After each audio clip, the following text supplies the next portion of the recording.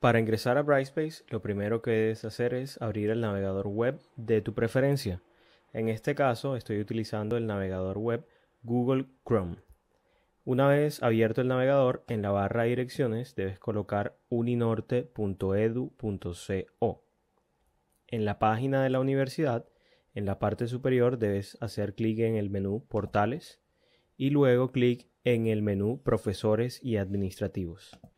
En la página que abre debes colocar tu usuario sin el arroba uninorteeduco y adicionalmente la contraseña.